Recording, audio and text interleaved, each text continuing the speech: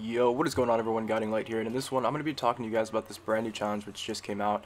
So this brand new challenge has us dealing damage and eliminating players with rare weapons or greater. I'm going to show you guys how you can actually get this one done very, very easily. So the first thing you want to do is actually go into Team Rumble. This way you can respawn, you have a lot of chances at getting more loot because a lot of the towns will be empty and you should be able to get a rare weapon pretty easily. So what you need to do is start looting. What you want to do is try to find something that's purple or better.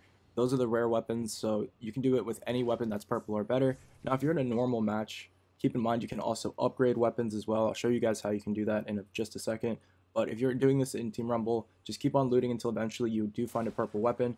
Now, once you have a purple weapon or gold, what you can do from there is just go ahead and go straight to the circle and wait for players to spawn in. That's pretty much all you have to do. Eventually, people will make their way to the middle of the map because they're going to be forced to, and you will be able to get it done very, very easily. Now, if you want to do it in a normal game, you can do that as well, but all you have to do is go up to one of these vendors, be sure to find a vendor that's doing upgrades, and eventually you'll be able to immediately upgrade it to a rare weapon or better, just depending on which weapon it is. So that's pretty much it for this one, guys. Hopefully it helps you out, and I'll catch you in the next one.